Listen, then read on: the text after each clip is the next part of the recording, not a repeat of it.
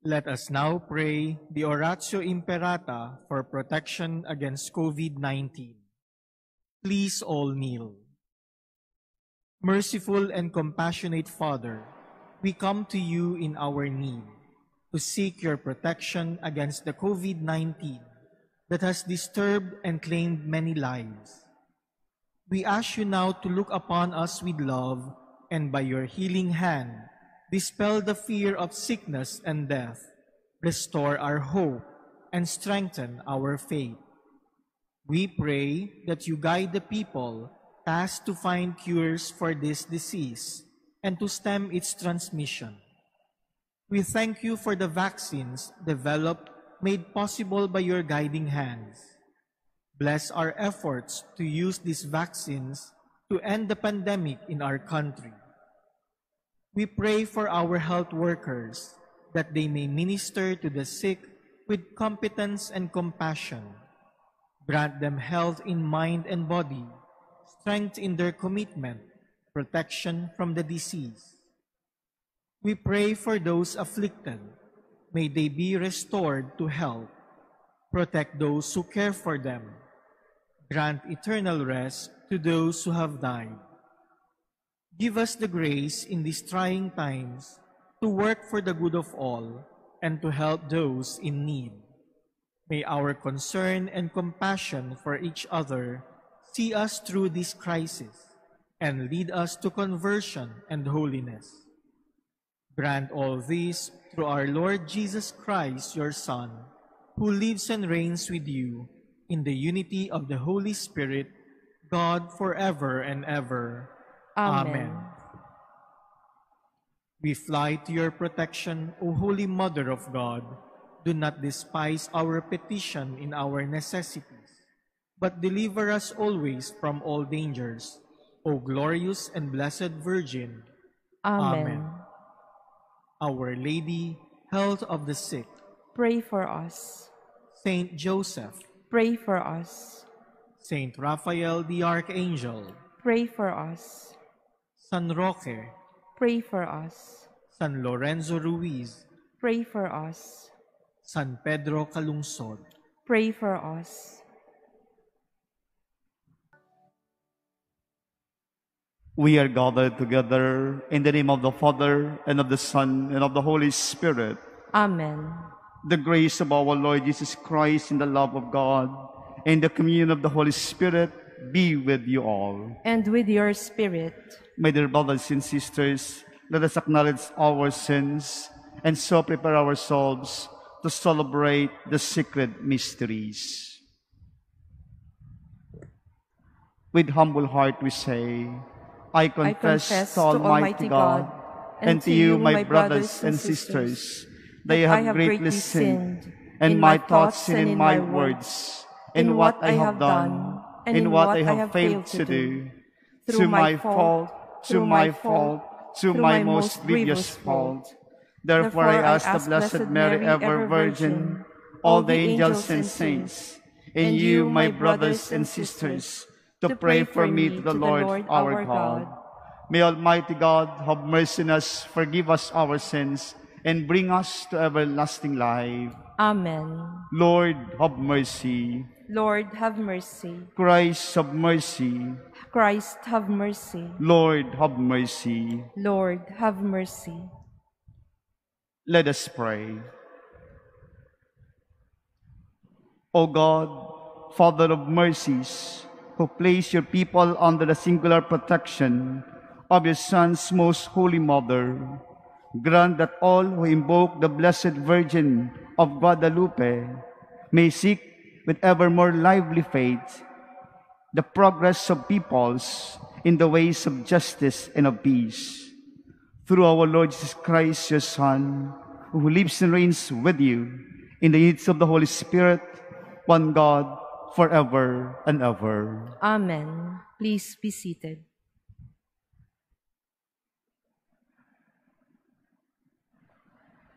A reading from the book of the prophet Zechariah. Sing and rejoice, O daughter of Zion. See, I am coming to dwell among you, says the Lord. Many nations shall join themselves to the Lord on that day, and they shall be his people. And he will dwell among you. And you shall know that the Lord of hosts has sent me to you. The Lord will possess Judah as his portion in the Holy Land, and he will again choose Jerusalem. Silence all mankind in the presence of the Lord, for he steers forth from his holy dwelling. The word of the Lord. Thanks be to God. You are the highest honor of our race. You are the highest honor of our race. Blessed are you, daughter by the Most High, above all the women on earth. And blessed be the Lord God, the creator of heaven and earth. You are the highest honor of our race.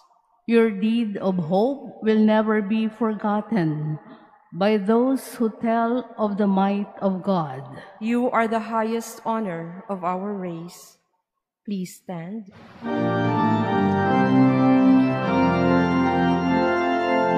Alleluia, Alleluia,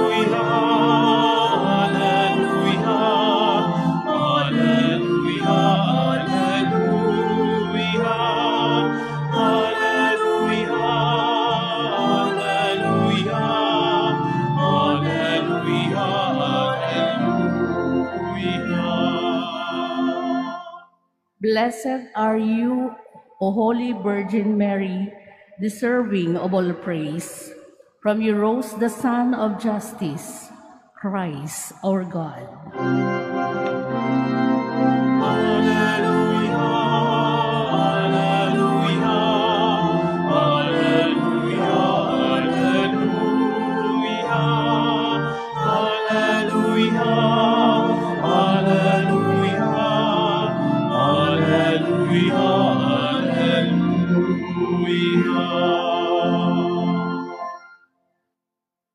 The Lord be with you. And with your spirit, A reading from the Holy Gospel according to Luke.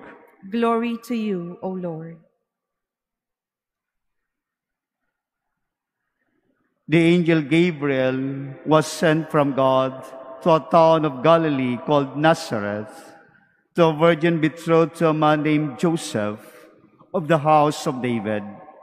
And the virgin's name was Mary. And coming to her and said, Hail, full of grace, the Lord is with you. But she was greatly troubled at what was said, and pondered what sort of greeting this might be. Then the angel said to her, Do not be afraid, Mary, for you have found favor with God. Behold, you will conceive in your womb and bear a son, and you shall name him Jesus. He will be great and will be called Son of the Most High. The Lord God will give him the throne of David his father, and he will rule over the house of Jacob forever. And of his kingdom there will be no end. But Mary said to the angel, How can this be, since I have no relations with a man? And the angel said to her in reply, The Holy Spirit will come upon you, and the power of the Most High will overshadow you. Therefore, the child to be born will be called Holy, the Son of God. And behold, Elizabeth, your relative, has also conceived a son in her old age. And this is the sixth month for her who was called barren. For nothing will be impossible for God. Mary said, Behold, I am the handmaid of the Lord. May it be done to me according to your word. Then the angel departed from her. My dear brothers and sisters, the gospel of the Lord. Praise to you, Lord Jesus Christ. Please be seated. Good morning, my dear brothers and sisters in Christ. We are now in the halfway or more than halfway in our Advent journey. And today, we are blessed, my dear brothers and sisters, to celebrate the feast of Our Lady of Guadalupe. It is our honor to have this celebration because she is our patroness too. Pope Pius XI in 1935 declared to us as a patroness of the Americas in the Philippines. This day, my dear brothers and sisters, we recall the apparitions of Mary at the hill of Tepeyac from December 9 to 12, year 1531, to the native convert named Juan Diego. Based from the sources, the apparitions happened when Juan Diego heard someone calling him from the very top of the hill. He went up to the hill and caught the sight of a lady of an earthly grandeur whose clothing as a radiant as the sun.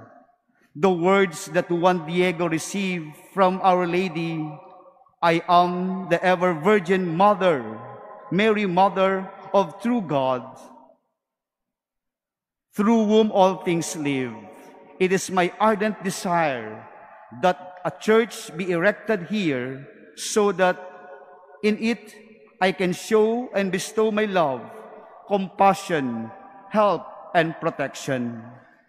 Juan Diego commanded to do a report to the bishop. When Juan Diego arrived in the presence of the bishop, unfortunately, the bishop ignored the message. Then Juan Diego returned to the hilltop where the heavenly lady was waiting. He said to her, My lady, my maiden, I presented your message to the bishop, but it seems that he did not think it was the truth. For this reason, I beg you, you to entrust your message to someone more than illustrious who might convey it in order that we may believe it. For I am only an insignificant man. She answered him, Humblest son, I ask that tomorrow you go again to see the bishop and tell him that I, the ever Virgin Holy Mary, Mother of God, I am the one who personally sent you. My dear brothers and sisters, this is a wonderful exchange of Our Lady and Juan Diego, conveying her message proclaiming her very mission to bring her son to us. She is a very good example to embrace Jesus and ready to share to others. In our gospel today, as we heard the annunciation of the angel Gabriel telling us the great love of God through Mary, sharing his true love for all of us. In this annunciation of Angel Gabriel to Mary, Mother, brothers, and sisters, is a proclamation of our salvation through the obedience of Mary. Therefore, Mary, for us, my dear brothers and sisters, is the essential figure for all of us. As we Filipinos, Mary has a special place in our hearts. We value her role in our salvation. It is indeed in our faith. Our Mother Mary is always watching us. Through her maternal care, we are all encourages us to open our hearts for being full aware that we have an obligation and responsibility to contribute with generosity, to serve with love, to proclaim the good news with courage and conviction.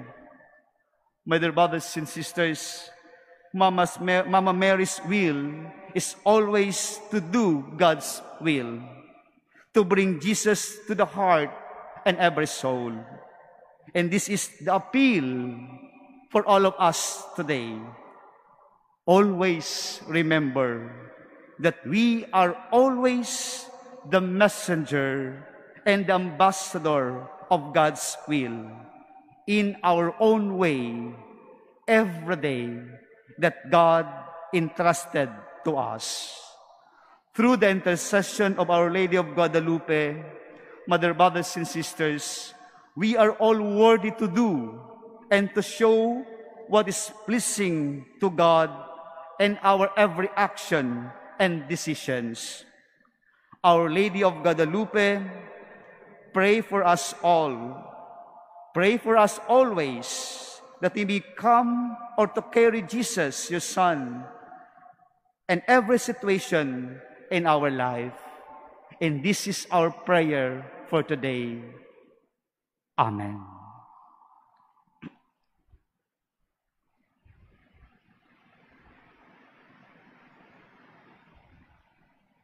Please stand.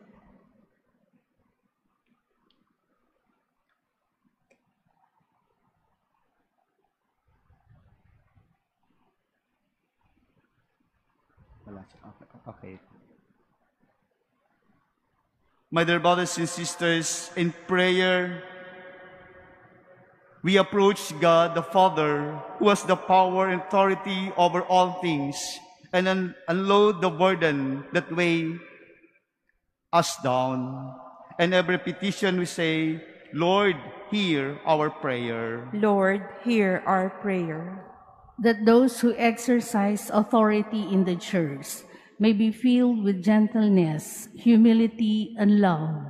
Let us pray to the Lord. Lord, Lord, hear our prayer. That those who are in authority may be guided in making decisions by wisdom based on love, justice, and truth. Let us pray to the Lord. Lord, Lord, hear hear our our prayer. prayer. that parents may, by their authority in the home, seek more to love and be loved than to create an atmosphere of repression and fear. Let us pray to the Lord. Lord, hear our prayer. That the sick may find healing and consolation through God's word and the sacraments.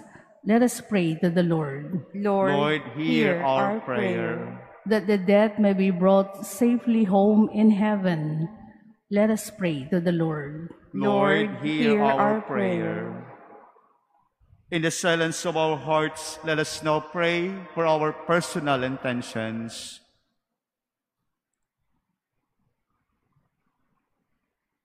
Heavenly Father, we rejoice in your abundant love for us. Establish your authority within us and be our companion on the road of life. We make our prayer through Christ our Lord. Amen. Please be seated.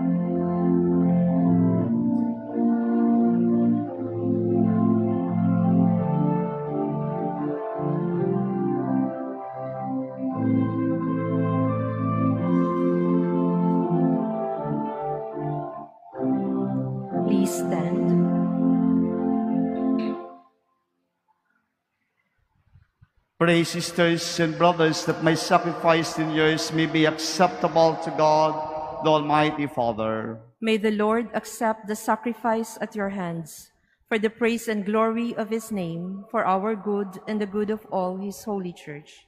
Accept, O Lord, the gifts we present to you on this feast of Our Lady of Guadalupe, and grant that this sacrifice may strengthen us to fulfill your commandments as true children of the Virgin Mary, through Christ our Lord. Amen. The Lord be with you. And with your spirit, Lift up your hearts. we lift them up to the Lord. Let's give thanks to the Lord our God. It is right and just. It is truly right and just, our duty and our salvation, to praise your mighty deeds in exaltation of all the saints, and especially as we celebrate the memory of the Blessed Virgin Mary, Our Lady of Guadalupe, to proclaim your kindness as we echo her thankful hymn of praise. For truly even to the earth's ends, you have done great things and extended your abundant mercy from age to age. When you look on the lowliness of your handmaid, you give us through her the author of our salvation, your Son, Jesus Christ, our Lord. Through him, the host of angels adores your majesty and rejoices in your presence forever. May your voices, we pray, join with theirs in one chorus of exultant praise as we acclaim. Holy, holy, holy Lord God of hosts, heaven and earth are full of your glory. Hosanna in the highest. Blessed is he who comes in the name of the Lord. Hosanna in the highest. Please kneel. You are indeed holy, O Lord, the font of all holiness. Make holy, therefore, these gifts, we pray, by sending down your Spirit upon them like a dewfall, so that they become for us the body and blood of our Lord Jesus Christ. At the time he was betrayed and entered willingly into his passion, he took bread and giving thanks, broke it, and gave it to his disciples, saying, Take this, all of you, and eat of it, for this is my body, which will be given up for you.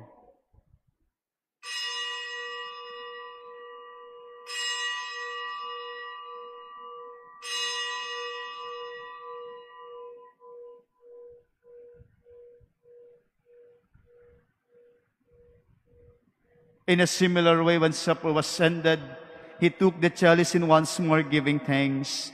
He gave it to his disciples, saying, Take this, all of you, and drink from it, for this is the chalice of my blood, the blood of a new and eternal covenant, which will poured out for you and for many, for the forgiveness of sins. Do this in memory of me.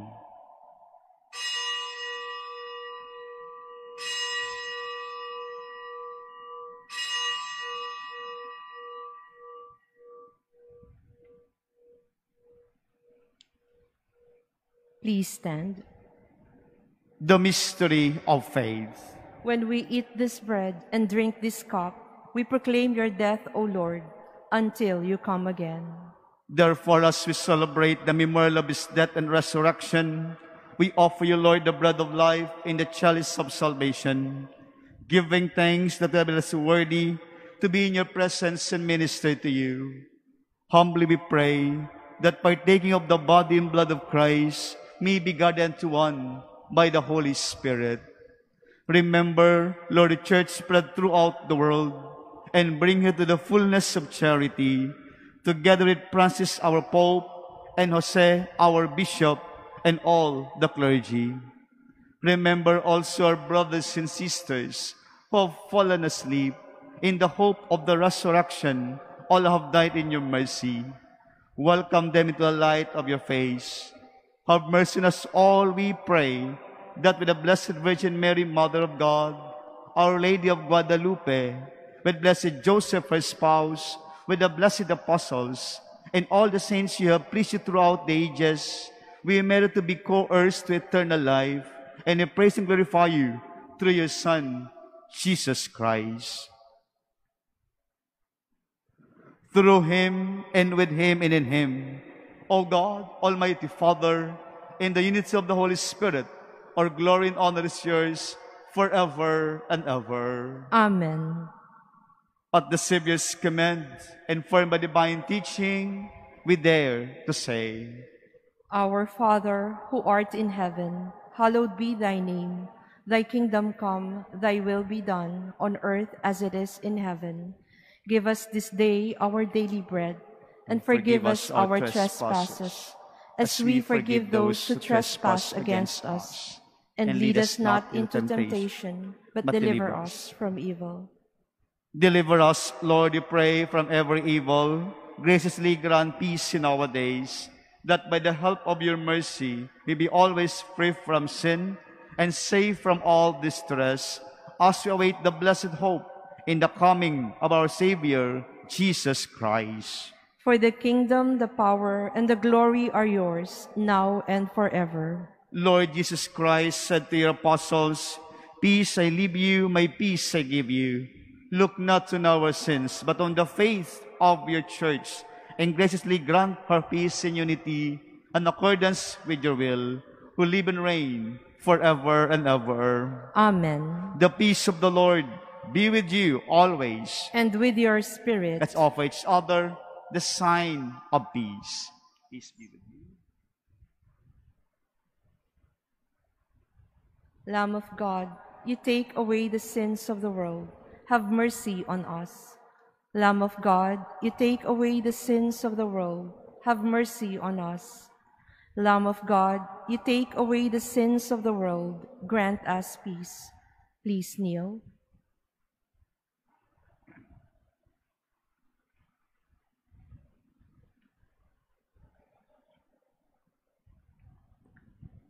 Behold Jesus, the Lamb of God.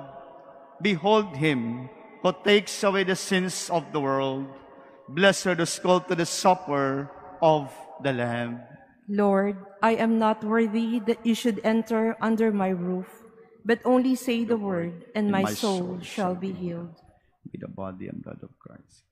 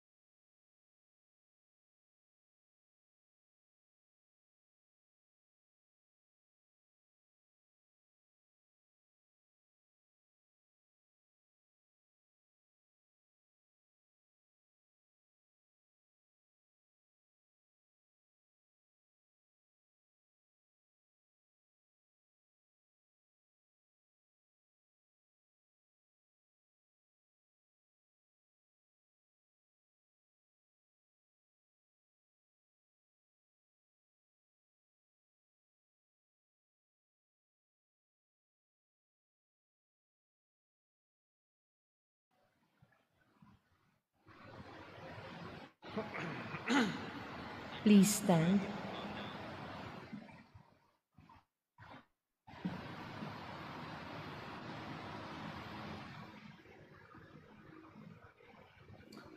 Let us pray. Lord God, may the body and blood of your Son, which we receive in this sacrament, reconcile us always in your love. And we who rejoice in Our Lady of Guadalupe live united at the peace in this world until the day of the Lord dawns in glory. Through Christ our Lord. Amen. The Lord be with you. And with your spirit. And may Almighty God bless you all, the Father, the Son, and the Holy Spirit. Amen. Go and announce the gospel of the Lord. Thanks be to God.